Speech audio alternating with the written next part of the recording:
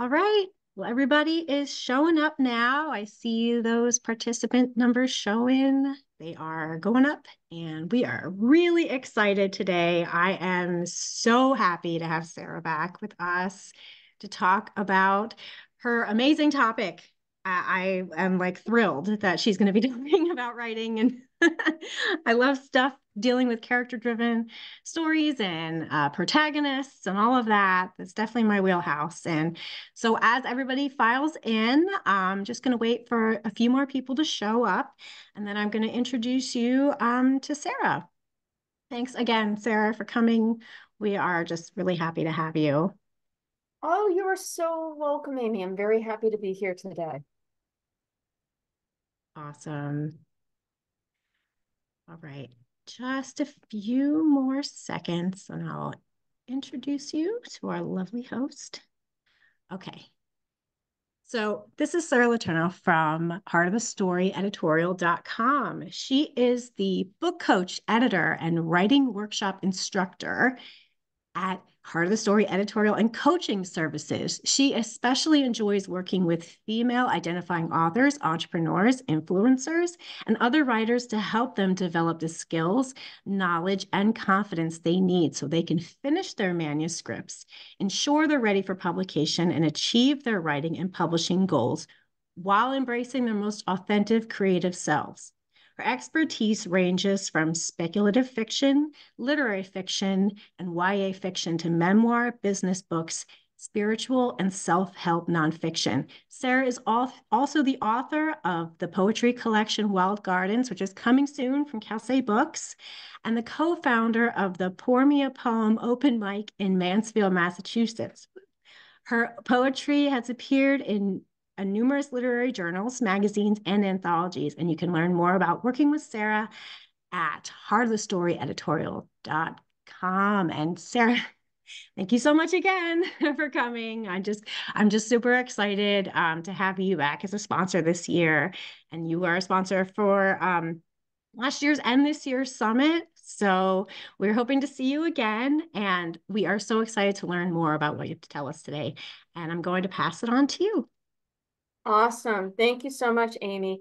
Hi, everybody. Welcome to today's webinar. I'm just gonna give me a moment here. I'm just gonna start sharing my screen so that you can see the presentation slides.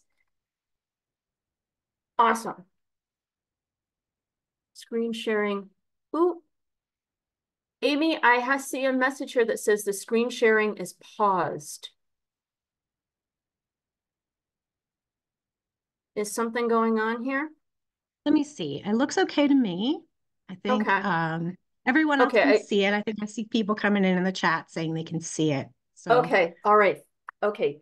Thank you. I saw something on my end that said the screen sharing is paused. If at any point you can't see my slides, please let me know. Or Amy, just feel free to just jump right in and let me know. Um, but sure. we will just I'll, rock I'll and roll from here. Thank you. Um, so yeah, so today we're going to talk about character arcs and story structure. Um, now, a lot of writers ask me, what's more important, the plot or the character's journey? You know what my answer is?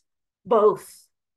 Because, you know, when I do a developmental edit of fiction or when I'm coaching writers, um, I like to help each writer ensure that they are cons considering both sides of this equation. The external, which is the plot, and the internal, which is what's happening to the character. That way they're hitting all of the important story beats while showing the emotional and psychological journey their protagonist is taking. Now, today's webinar is meant to be an introduction to this method of pairing story structure with character arcs. So we've got a lot Sorry, to cover. Sara, I hate to interrupt you really quickly, but I think the screen is doing something kind of funky right now. Apologies. I don't on? know why it's doing that. Okay, it looks good now. Uh, I think we just lost you for a second, but now we're on the first slide. Okay. Does it still say aligning the protagonist journey? Yes, yes. Okay. The date. All right.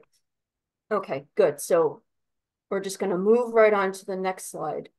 um, just to make sure that we keep things going. Um, so I know Amy just introduced me a moment ago, but hi, everybody. I'm Sara Letourneau, um, the book editor and writing coach behind Heart of the Story editorial and coaching services. I am was one of the sponsors for the 2024 Women in Publishing Summit. So I work in both fiction and nonfiction. In fiction, I specialize in speculative fiction, so fantasy, science fiction, magical realism, as well as YA fiction and literary fiction. And with nonfiction, um, I focus on memoir, self-help books, and business books. I am also an award-winning poet, and my debut poetry collection, um, like Amy said, is coming out very soon from Kelsey Books. It's called Wild Gardens. And finally, I live in the greater Boston area of Massachusetts. So we've got a lot to explore today and we will dive in shortly. But first, here is what you can expect during today's webinar. So we're going to start with a different way to approach story structure in case the traditional three act structure isn't working for you. Next, we will talk about why it is so important to know your protagonist deeply before you begin writing, and the four questions you can ask to help yourself and your story reach that depth. We will wrap, um, after that, we will begin aligning your protagonist's journey by focusing on each act of a story and the primary plot points. And then we'll wrap that off with some brief closing thoughts. Um, and since I am one of the sponsors for this year's summit, I will also take a moment to share how I can support you and your writing, regardless of whether you need help with the stories, plot, character arcs, or anything else. And um, we will wrap things up with a Q&A session where you can ask questions that came up for you while you were watching this webinar. How does that sound? All right, well, let's first talk about story structure, or rather a different perspective on it. Now, if you have studied story structure before, you have probably heard of the three act story structure. It's one of the most classic and widely used formats for storytelling, and it divides the story into three parts. Act one, which is the first quarter of the story.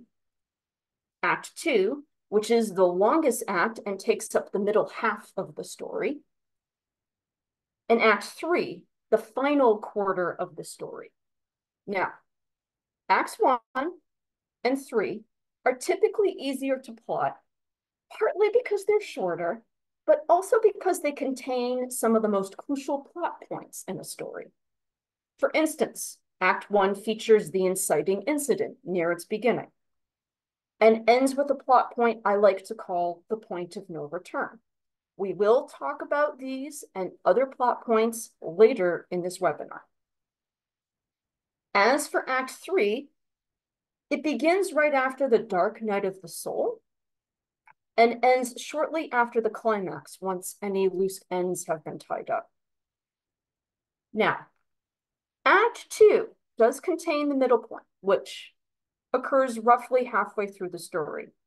But writers often forget that this important plot point needs to happen to bridge the gap between the end of Act 1 and the beginning of Act 3, or also the end of Act 2. But do you see what else happens here? There is a lot of ground to cover during Act 2. And because the midpoint is sometimes overlooked, and the biggest events typically happen earlier and later in the story, it's easy to have only a fuzzy idea of what needs to happen in the middle. It's often why the middle of the story is often called the messy middle. And this is what often leads writers to struggle through this part of the story, no matter if they're plotting, pantsing, or using a hybrid of those two. So here's the perspective shift I want to share with you. And it's a methodology that other storytelling experts have offered, but it's not very widely used. What if you divided your story into four acts instead of three? To do this, you're not really doing anything revolutionary. Rather, you're going to cut Act Two into two parts so that you have four roughly equal acts. Act One would still represent the first quarter of the story. The new Act Two would begin right after the point of no return and end at the midpoint. That would be followed by the new Act Three, which would end with the Dark Night of the Soul. And finally, Act Four, which was formerly Act Three, would start with the Dark Night after the Dark Night of the Soul and go all the way to the end. Thinking about story structure this way places just as much emphasis on the midpoint as it does on any other plot point you see on this screen. That way you can treat the midpoint with the same care and consideration as you would with the inciting incident or the climax. This also means you would be building a smaller bridge of scenes, so to speak, between major plot points. If you look at this diagram again, you can see the amount of page time between the point of no return and the midpoint is much less than between the mid the point of no return and the dark night of the soul on the previous page. So by breaking your story structure into four equal acts instead of three acts of varying length, you can make this process of connecting the dots in your story less overwhelming. Does this way of looking at story structure make sense to you? Maybe give some hearts or some thumbs up if you have any, you know, I see a thumbs up. I see a heart. I see more. Awesome. Okay, I'm really, really happy to see that. Thank you. All right. So now let us consider what is important for you to know about your protagonist before you begin writing and working with this methodology. First, who is your protagonist? What is her name? How old is she? What roles does she play in her everyday life? What is important for the reader to know about this character as the story begins? Now, these all seem like minor details, perhaps, but your readers will be curious to know who this character is and what she is like very early on. Next, what is your protagonist's story goal? In other words, what is the problem she is going to work towards solving during this story? Your answer to this question would also be the same answer you would give to the more frequently asked, what is this story about? Third, why does your protagonist want this goal? What is her motivation for solving the problem in the first place? Let's use a very well-known example. Katniss Everdeen from the Hunger, Games. Her story goal is to survive by winning the Hunger Games. But why is she doing this? What caused her to enter the games in the first place? Because she took her younger sister sister's place in the event. In other words, Katniss chooses to step into this battle royale because of her primary motivation. She wants to protect her family. Now, this fourth and final question is the most important one in this process, and it's also the most challenging one. What false belief does your protagonist have that will be challenged by the story's events? This is a concept I learned from Angela Ackerman and Becca Puglisi, the authors of The Emotions Thesaurus and many, many other resources for writers. A false belief is an untruth that the character has been conditioned to believe about themselves or the world at large. Some examples of these distorted beliefs include I can't trust anyone, or I am ugly, or not good enough. These may sound familiar because these are beliefs we often have about ourselves. And just as certain events in our lives can teach us that these beliefs are simply not true, the same can happen to the protagonists in the stories we write. Now, Why is it important to know your protagonist on such a deep level? First of all, for a character arc to be believable and engaging for your readers, your protagonist must be emotionally invested in the results or consequences of the problem she wants to solve. Simply giving her a story goal that sounds cool might not work if she doesn't care about what happens afterward. So choosing a story goal that's connected to one of your protagonist's fears, a long-held dream, or the like will make the story more interesting for your readers. Also, giving your protagonist a false belief to unlearn will make her feel like a real person. Remember what I mentioned on the previous slide. We all have false beliefs about ourselves or the world. And we often go through circumstances that teach us how we've been wrong all along. So giving your protagonist ch the chance to do the same will create more internal conflict within her and make her seem even more realistic. Finally, a false belief is often the result of a person's traumatic experience or emotional wound. In other words, when we adopt a false belief, or in this case, when your protagonist adopts a false belief, it's a reaction to something from her past, something that happened before the story, so to speak, that caused her a great deal of pain. So just as we do it in real life, your protagonist will do this to avoid experiencing the same pain in the future. But in the end, that belief is going to do her more harm than good, right? So as you consider your protagonist's false belief, think about what event from her past may have caused her to adopt this belief. And consider what kinds of appropriate behaviors or personality traits she may demonstrate because of this belief. Okay, that should be enough background information to give us the understanding we need for the rest of this webinar. Who is ready to start aligning the character's journey with the story's plot? Any emojis? More hearts? More, more awesome. We've got thumbs up. We've got celebrations. I love that. Awesome. So let us start with Act One.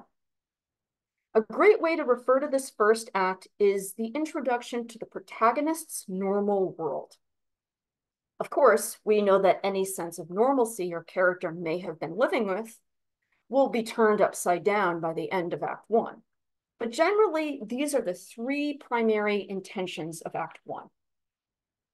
It introduces the, the reader to the protagonist, as well as some of the most significant people in her life right now. It shows the protagonist living in her world as it is right now, before the story's events cause things to change too much. And it introduces the problem your, your protagonist will work towards solving during the story. Now, remember the four questions we discussed a moment ago? Who your protagonist is, what her story goal is, why she wants that goal, and what her false belief is? This first act is where your answers to those questions will help you build out the external events that will catalyze your protagonist's internal journey. That's why it is crucial to take the time to answer those questions. Knowing your protagonist deeply will guide you in how to craft the rest of the story. Starting with the inciting incident. This is the first major plot point in a story, usually happening around the first or second chapter. That way, it can grab the reader's attention quickly so they're not left wondering when things are going to start happening. Now, remember that we are looking at the story's plot as a problem protagonist needs or wants to solve. A problem originates when an event occurs or a choice is made that upsets the balance in your character's life. So the inciting incident is intended to force your protagonist to react or make her own decision that will make it impossible for her to ignore the problem she needs to solve. If we return to our example from the Hunger Games, this is the scene when Katniss's younger sister, Prim, is chosen to compete in the games. And Katniss, who feels responsible, as if she hasn't done enough to protect her sister from being selected, volunteers to take her place. So when you consider your story's inciting incident, think about these three important points. First, figure out how your protagonist reacts to this event. What is she thinking? How is she feeling? Most importantly, what does she do by the end of this plot point that creates the problem she needs to solve? What choice does she make? What action does she take? And remember, your protagonist needs to be emotionally invested in the consequences of the inciting incident and every plot point in this story. So think about why she reacts and makes a decision in the way she does during this scene and how that ties in with her motivations. Finally, ask yourself how your protagonist comes face to face with her false belief during this scene. How does the lie your character believes about herself or the world at large flare up right now? Does that influence her reaction to the inciting incident? So we have reached the end of Act One and the second plot point, the point of no return. This comes about 20 to 25% of the way through a story. During the time between the inciting incident and this plot point, your protagonist will be aware of the problem she needs to solve, but she won't be fully committed to it yet. Maybe she'll waffle back and forth for a bit before knowing what to do next. Maybe her false belief will be at war with her motivations. Or maybe other events need to occur first before she can commit to her part in the main conflict. That's the case with Katniss in the Hunger Games because she has to travel to the capital and train for the games before she can set foot in the arena. In all likelihood, your protagonist needs to experience a combination of all three scenarios throughout Act One before she decides, okay, I'm in. And that's because the point of no return involves a choice and an action from the protagonist that shows she is now committed to solving the problem. And there's no going back from here. After this, her life will never be the same again. In Katniss's case, her point of no return is when she's demonstrating her archery skills in front of the game makers. And to get their attention, she aims an arrow at their banquet table and skewers the apple in the roast pig's mouth against the wall. That's one heck of a way of saying, I'm ready to fight for the people I love. Don't you think so too? So when your story reaches the point of no return, here are the questions you can ask yourself. What kind of event will take your protagonist by surprise, just as the inciting incident did, and convince her to take action and start working on the problem she needs to solve? How does your protagonist react to this event? Again, what is she thinking? How is she feeling? How does this influence her reaction as well as the choice she makes here? The purpose of this plot point is that your character will choose to take action so she can start solving the problem. So think about how this choice aligns with her motivations too. For instance, what action could she take in response to the no point of return that will help her work toward her motivation? If she doesn't take action, how would her inaction make it harder for her to achieve that motivation? And remember your protagonist's false belief here too. When your character chooses to take action, how does this action put her in direct conflict with the lie she believes? Another way to think about this is how does her choice force her to take the first step in confronting her false belief? So the point of no return doesn't just mark the end of Act One. It also marks the beginning of Act Two, where your protagonist's adventure truly begins. Now, your protagonist might not see this as an adventure. In fact, she will probably resist and struggle with the story's events during this act and with herself internally. But this is where things start to get juicy from both plot and character arc perspectives. And that's because of these three intentions of Act Two. Act Two shows your protagonist taking the first steps towards solving the problem that represents her story goal. Now, the protagonist won't approach this process perfectly. Because she is still clinging to her false belief, she will make mistakes and experience challenges that align with this lie.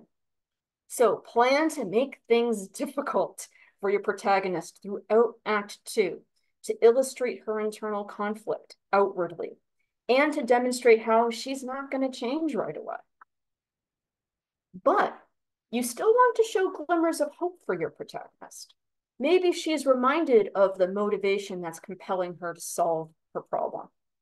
Maybe she receives help from other characters or an object that will be useful to her later.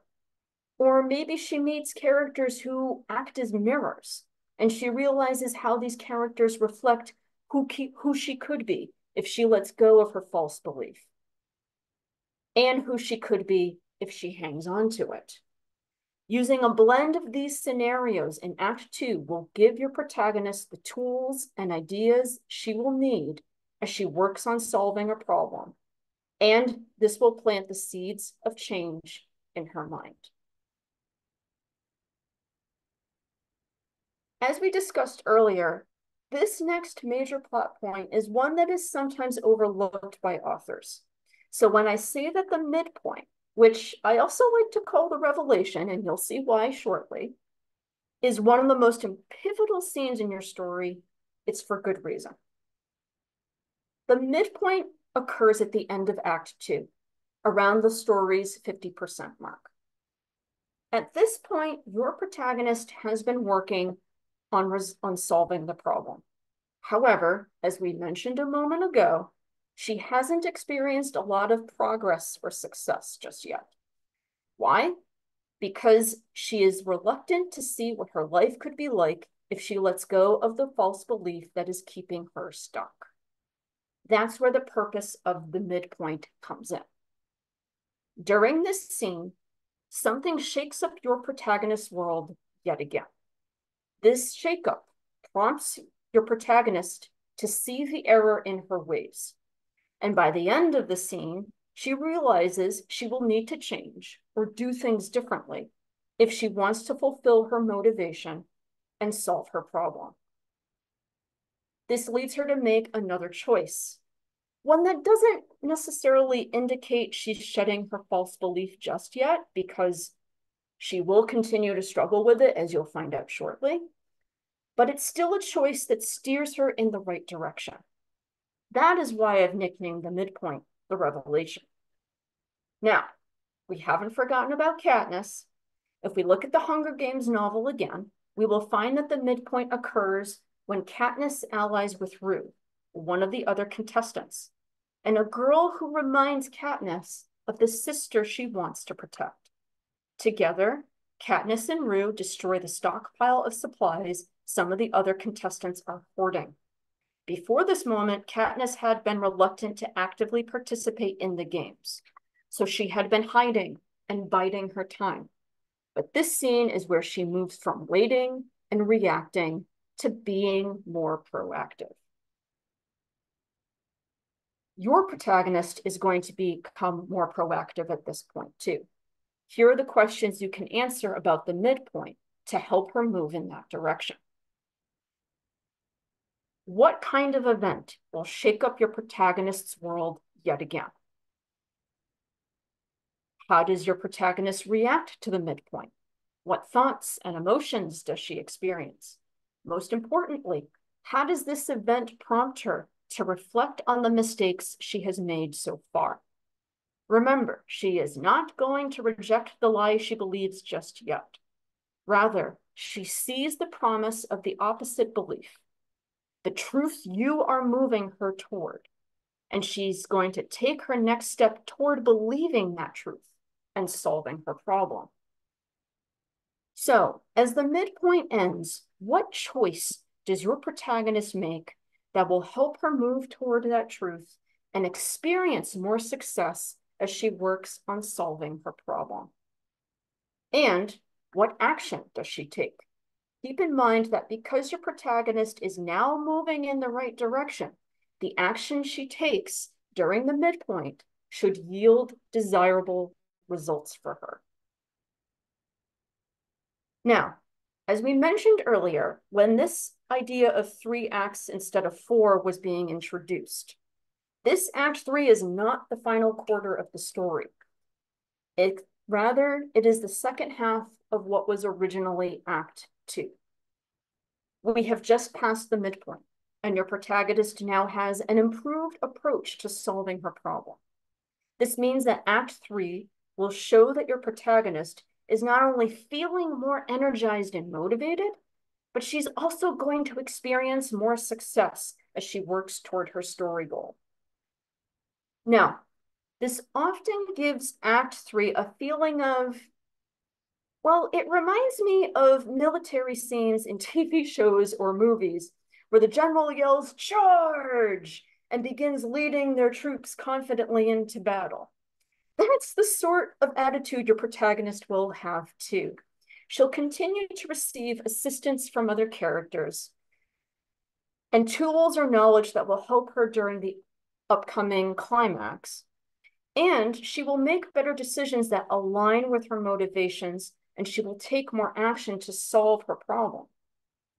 But do her newfound confidence and decisiveness mean that she is riding off to victory this soon? No.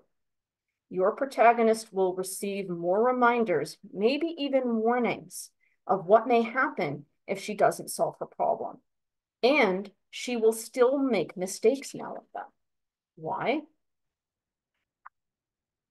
Because deep down, she is still hanging on to her false belief even if a person changes their behavior because of a, of a shift in perspective, they still have to believe in that perspective shift for things to work out. And since your protagonist hasn't quite taken that leap yet, this will ultimately lead to the end of Act Three and the fourth major plot point in your story, the dark night of the soul. This plot point typically comes around the story's 75% mark. And it's the moment where the worst thing your protagonist could experience as she works to solve her problem happens.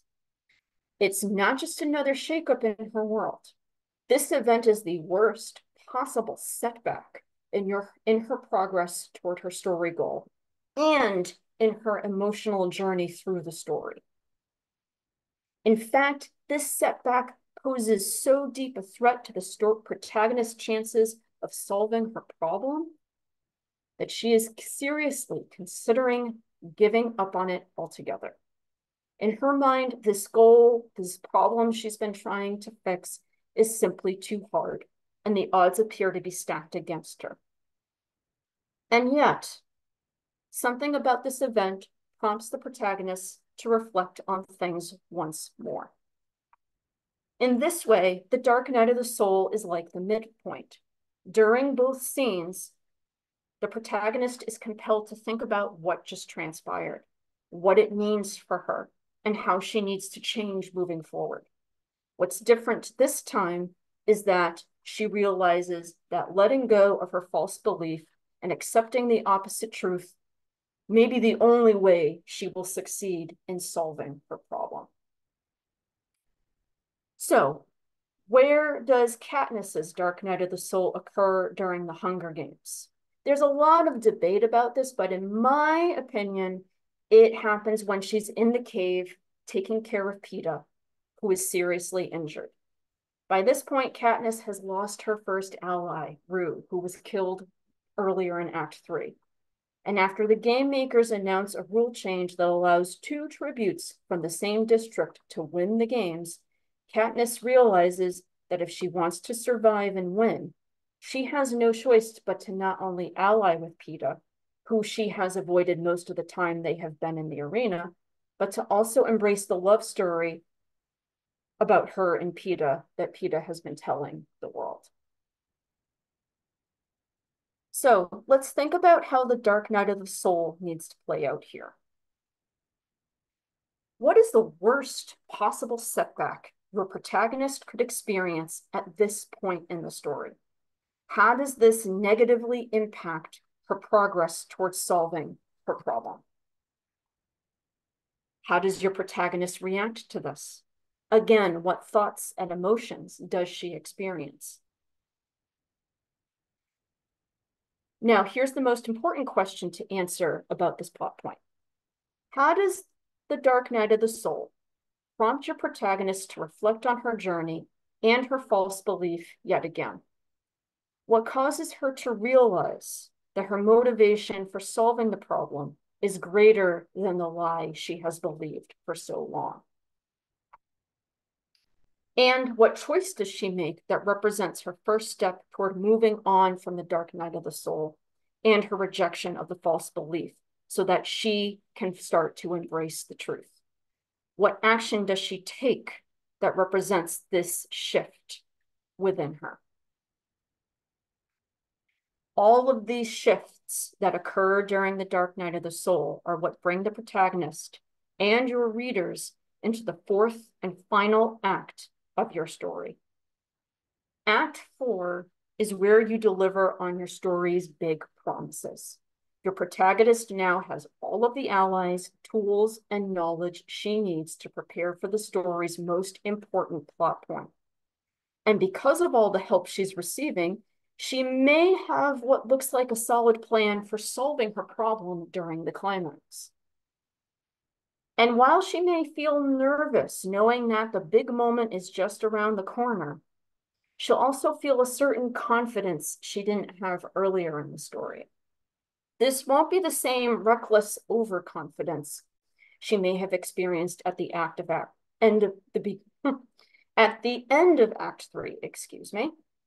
Rather, she will be nervous about embracing the truth that's overriding her false belief since it's still new to her Yet, she will also feel a quiet sense of certainty.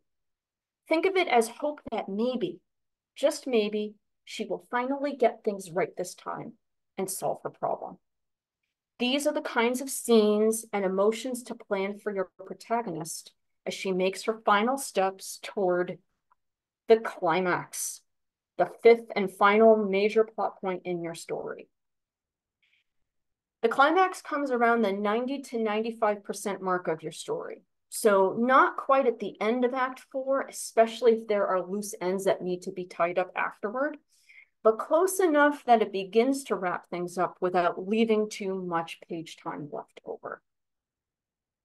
Now, you may typically hear this scene described as the final showdown between the protagonist and the antagonist. And while that may be true for your story, it's much more than a big battle of good versus evil. If we stick to the language we have used since the beginning of this webinar, the climax is the moment where your protagonist finally solves her problem successfully. Not only that, but she also fulfills her motivation for wanting to solve the problem in the first place. This is the case with Katniss. In the climax of the Hunger Games, we see her win the games and fulfill her motivation of surviving and protecting her family. Of course, the climax of the Hunger Games is not so simple. After another last minute rule change, Katniss is not the only winner. She and Peeta win together after finding a loophole in the game maker's rules, which complicates Katniss's feelings about Peeta further as they prepare to come home. Now, what about your protagonist and her journey to shedding her false belief? This is why I often nickname the climax the moment of truth. This scene marks the first time when your protagonist demonstrates her commitment to the truth she has finally begun to believe. This means that something about her actions during the climax will symbolize her belief in this truth and prove that she has indeed begun to change. Okay, let's recap what's most important to consider about the climax from both plot and character arc perspectives using these questions. How does the climax show the protagonist solving her problem? Is she confronting a character who is an antagonist? Or is this an internal conflict that only she can overcome? How does the way in which your protagonist solves her problem allow her to fulfill the motivation that's been driving her all story long? And as she solves her problem, what action or gesture does she perform during the climax that demonstrates her commitment to the truth that is replacing her false belief? And finally, what is the outcome of the climax? What is your protagonist thinking and feeling as the scene ends? That was a lot of information, wasn't it? But I hoped that it has helped you look at story structure and character arcs from a fresh perspective. And I appreciate all of you for sticking around to this point in the webinar. Oh, thank you for the heart. I really appreciate that. Um, so now I want to share some closing thoughts with you about aligning your character's journey with story structure. And I also want to share a special opportunity that you may want to take advantage of. So first, remember that the dual purpose of the methodology we discussed. When the plot and the protagonist's arc work well together, they create not just a good story, but a powerful, moving one that holds the reader's interest because every scene has a purpose and because the reader feels connected to the protagonist in some way. If a story focuses too heavily on the plot, it could result in overlooking the emotional aspects of the character's journey, and your readers might feel like something vital is missing. On the other hand, if your story relies too much on the character's arc, it may lead your, story, your readers to wonder when things will start moving forward. It may be too slow paced in some points. So by keeping both the plot and the protagonist's arc in mind, you will increase your chances of crafting a balanced, engaging story that will make your readers feel like they have gone on an incredible journey with your character. Now, there is one plot point we had to skip due to time constraints, the resolution. This scene, or in some case, a series of scenes, comes after the climax, and its intention is to tie up the loose ends in both the plot and your protagonist's arc. So as you work on the climax, think about what needs to come after that scene to complete your character's journey and answer your reader's remaining questions. Finally, what if your story features an antagonistic character who's in direct conflict with your protagonist? Or let's say you're, you're writing a survival story and maybe your protagonist is dealing with an, antag an antagonistic force, excuse me, not necessarily a person, but the weather or the elements of her environment. That's all part of the protagonist's problem, right? In a way, the antagonist or the antagonistic force is trying to hinder your protagonist's journey and prevent her from solving her problem. So keep that in mind as you work your way through this plot and arc alignment methodology. Now, I've got a question for all of you. At any point after today's webinar, regardless of whether you think you need help with your story's plot, with character arcs, or anything else, do you think you will need more support with your writing process?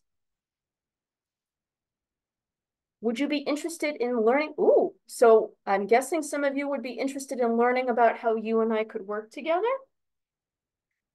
Well, then let me share a very special offer with you. As one of the sponsors of the 2024 Women in Publishing Summit, I am offering one free 45 minute coaching session about your current writing project. Whether you are working on fiction, nonfiction, and yes, I work on poetry too. This free session will be tailored to the questions, concerns, or challenges you are experiencing with your project right now. Your call could in, could involve a brainstorming session or a craft talk about a writing technique you are struggling with, or a review of your outline or a short excerpt from your manuscript. Or maybe you need to want some help strategizing your writing schedule or your upcoming revisions for your story's next draft. Maybe you need a pep talk to help improve, you know, to help with your mindset. In short, whatever you need help with right now, we will address it during this call. Once you book your free call and fill out the intake form, I will email you to say hello and to ask a few more questions to help me prepare for our session. This free call is typically conducted on Zoom, but I can do a phone call instead if that is more convenient for you. At the end of your free call, if you are interested in continuing your coaching on a paid basis, I would be happy to, to discuss the details with you. This offer is available to the women in publishing community through Monday, September 30th. So there's still plenty of time. But, you know, sometimes we forget about things that we really want to take advantage of. So if you know right now that you want to redeem this offer, I believe Amy is going to be sharing the sign up link for this offer in the Zoom in the Zoom chat box. And if you're watching this on Facebook, we will make sure that you get the information that way. Um, so all you have to do is you click on the link. Once the page loads, enter your first name and email address to receive the sign up details. When their email arrives, just click the link to visit my scheduling page and choose a day and time that works for you. Again, if you're here on Zoom, I believe Amy is going to be sharing that information on, or at least the sign up link in the Zoom chat box. And if you're on the live stream on Facebook, we will make sure that you get access to the sign up link. All right, I am going to turn off my screen sharing now. And we're going to answer some of the questions that have come in. All right, so the first one that came in, AE, you asked what is the dark night of the soul? Um, so I believe I answered that question during the, in my slides. Um, but AE, do you still need an answer to that question now, or are you okay with this move, with the explanation I gave? Can you put that in the Zoom chat box by any chance?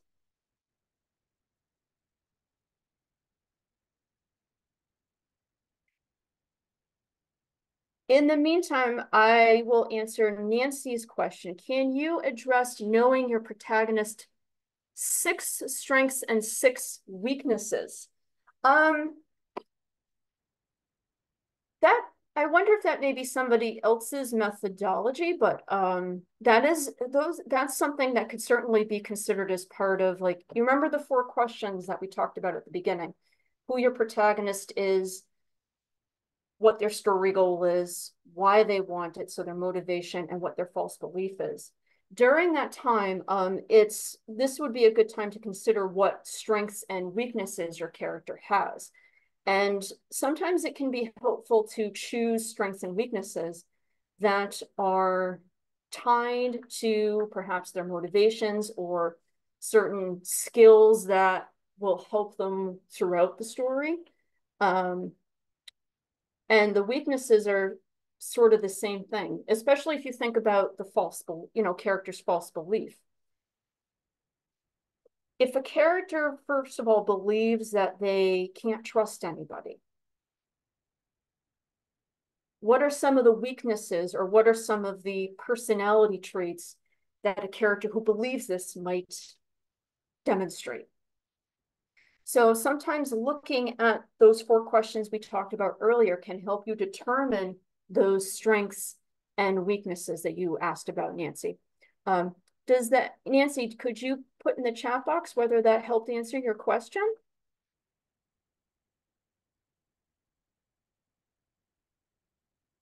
Awesome, thank you. Um, Camille Parkinson. If you know your story is going to be a trilogy, ooh, do you spread the acts over all three books or apply it to each book or a combination of both? I think that depends on how intricate you want that to be. Um, I would definitely say that each book in a trilogy needs to have its own separate four acts. So book one would have act one, two, three, four. That book two would have act one, act two, act three, act four.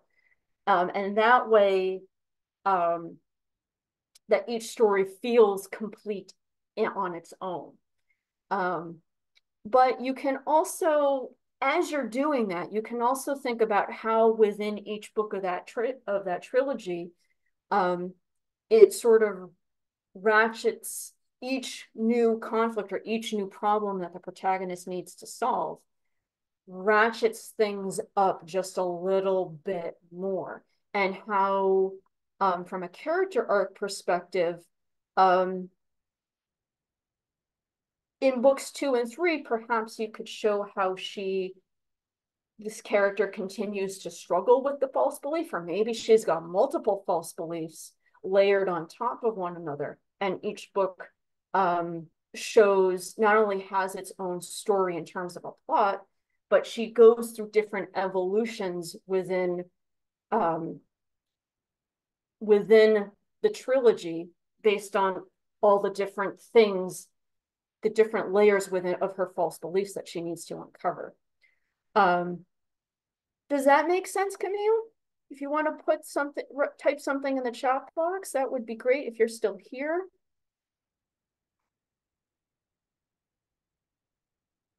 Robin Kellogg, wonderful webinar. Thank you. Thank you. I'm and I'm seeing all the other comments that are in the chat box now, and I really, really appreciate um every what everybody's had to say so far. Um, Camille, great. Thank you. I'm well, glad that it helped answer your question. Um, okay, another question from Nancy. What if the historical reality is that the protagonist doesn't succeed? Aha, so, um, as I said, this webinar is just scratching the surface of this because not every story is going to show what's known as a positive character arc. That's essentially what this webinar had to focus on.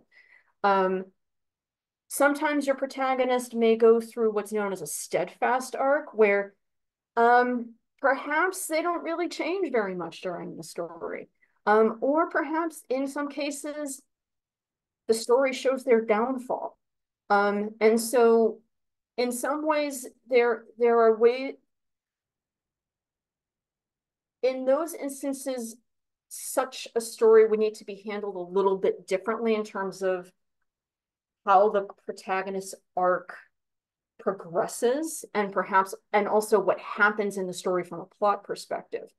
Um, and that would be a whole other hour, two hour long conversation that we simply just don't have time to have. Um, but um, it's it in such an instance like that, Nancy, I would suggest sort of how do you how do you look how do you answer some of the questions that were posed for the major plot points in a way that starts to um, in a way that eventually points to the character not succeeding or perhaps experiencing a downfall. Um, does that make sense for right now, Nancy? Maybe that's a conversation you and I can have at another time. Okay. Okay, great. Um, and yeah, Lisa in the chat box just asked something very similar. How differently do we handle a negative character arc? I would say the same thing. The, the answer I just gave to Nancy's question is the same answer I would give for your question right now. Um, just for right now, unless this is a separate conversation you and I would like to have, Lisa, um, just to, on your own, look, think about the questions that were posed about each plot point and how to phrase them differently in a way that would point the character toward the negative I don't want to say negative arc, but the downfall or or um, inability or incapability of succeeding that would happen in that kind of story. Um, can the act four act structure apply to mysteries? Yes. This methodology can apply to all genres of fiction writing. You may have to read, you know, may have to think about things a little bit differently or uniquely depending on the genre that you're writing in. But yes, it can apply to mysteries and to all branches of fiction. AE, my answer, uh, my answer was covered. Thank you. Good. Glad to hear that the slide answered your question about the Dark Night of the Soul. Um, I see one more question in the chat box from Marilee Oftencamp. I hope I'm pronouncing that correctly. Should the big plot points be the main events and the rest of the content support and build to these, or are there many other events in the story as well? Um, the short answer is yes. These big plot points are the big events that happen in the story. Other things can, and other, other things can and will happen in the story because you obviously have to make sure that the character moves from the inciting incident to the point of no return all the way to the climax. And so, yes, other things are going to happen. Um, and perhaps some of those in between moments will feel a little bit more momentous.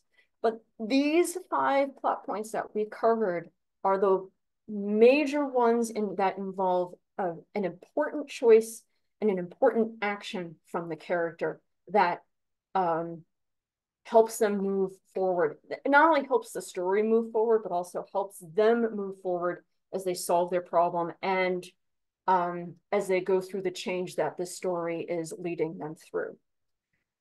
Does that make sense, Marilee? If you're still here and you want to share your answer in the chat box, that would be great. But I also see a thumbs up. That's awesome. Um, I see one more question in the chat box that I'm going to um, answer right now. Okay, thank you, Marilee. Thank you for letting me know. Um, Anand I'm so sorry. I I am going to I am going to mispronounce your name. I'm going to do the best I can. Your last name is Baker. Anandamayi Baker asks, does all this apply to children's books as well? Thank you for being understanding about that. Um, yes, it can. Um, and I it, it's probably easier with middle grade or YA novels because you have a bigger word count that you are deal that you are working with, more story that you're working with. And um, it's hard to say the same thing with picture books or early reader books just because you're working with a much more compressed storyline and also um, a much and a I don't want to say smaller word count, but yes, along those lines. So I think it depends on the the target age group that you are writing for um, and how much you've got to play with in terms of your word count. Um, so if it's, and if it's with a picture book, I probably wouldn't worry about it so much. But if it's for middle grade or YA, absolutely, this, this methodology can be very helpful for that. Last question, people have been asking about a copy of the presentation slides. Um, Amy, do you want to answer that question? Um, what, will the slides be made available to everybody who's here at the webinar? Hi, Sara. So I just wanted to clarify with you if that was okay. Um, I believe we can make them available. Um, yeah, if something yeah, that's up. fine. And obviously, I was going to put in the chat, obviously, remind everyone again of your offer link and your email address, um, just in case uh, they can get in touch with you and uh, potentially, yeah, get answers to their questions. Um, and like I said, we'll try to work out providing the slides. Otherwise, yeah. people can get in touch with you in case we can't do that. You know, you could you yeah, could send them off yourself.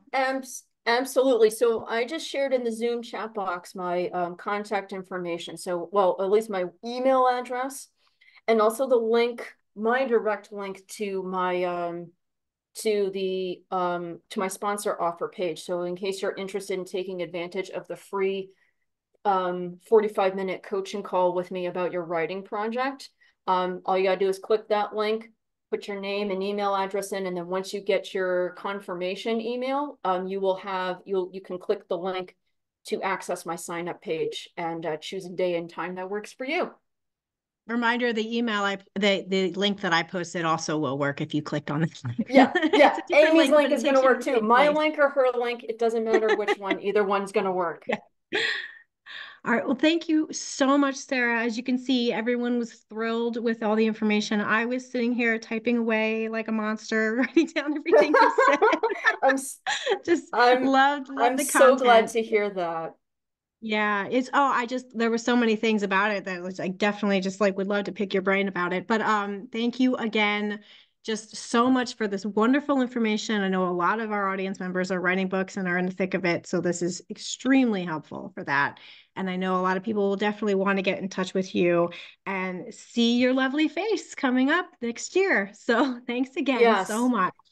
Awesome. You are very welcome. And thank you all again for coming to today's webinar. Again, I hope you found it helpful for your project. And if you would, if you have any other questions for me, if or you would like to take advantage of that free coaching call and maybe work a little bit longer than that, just you, you got the links and um, you know where to find me. Okay.